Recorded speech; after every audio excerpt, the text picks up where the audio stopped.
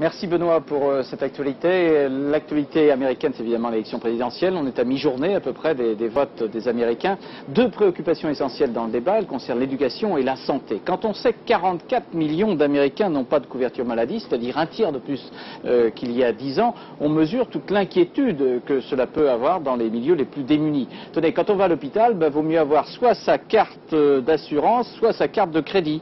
Et puis il y a une grosse préoccupation, ben, c'est trouver des médicaments moins moins chers que ceux qui sont disponibles sur le territoire américain. Voyez le reportage dans le Vermont d'Isabelle Bechler et Édouard Perrin. 43 millions d'Américains n'ont pas d'assurance maladie et bien des gens du troisième âge ne sont pas remboursés de leurs médicaments. Comme leur prix ne cesse de grimper, des gens comme Pauline, 73 ans, ne savent comment faire face. Rien que pour moi, j'en suis à 480 francs par semaine. Pour des retraités à revenus fixes, on n'a pas vraiment à se plaindre, mais c'est dur d'avoir à mettre tout le superflu dans l'achat de nos médicaments.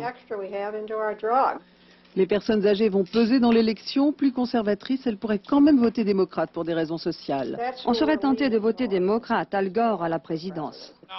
Je vais me battre pour vous, pour que vous ayez de meilleurs remboursements médicaux. Et ça pour toutes les personnes âgées. On va réduire les prix et se battre pour plus d'égalité des soins. Heureusement pour Pauline, son nouveau médecin lui a proposé d'acheter ses médicaments par correspondance au Canada voisin. Cette fois-ci, elle économisera 40% seulement. Mais certaines molécules coûtent jusqu'à 13 fois plus cher aux États-Unis.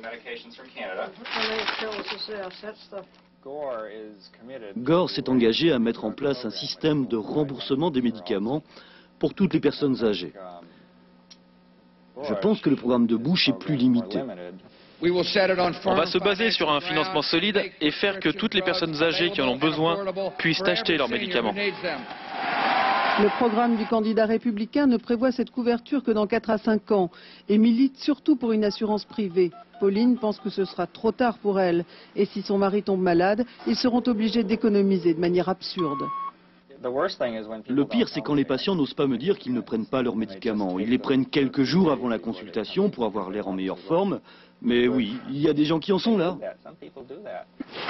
Pauline a eu le courage de parler à son médecin, mais préférerait une solution nationale. Ceux qui n'osent pas, la nouvelle et tapageuse prospérité américaine les laissera sur le bord du chemin.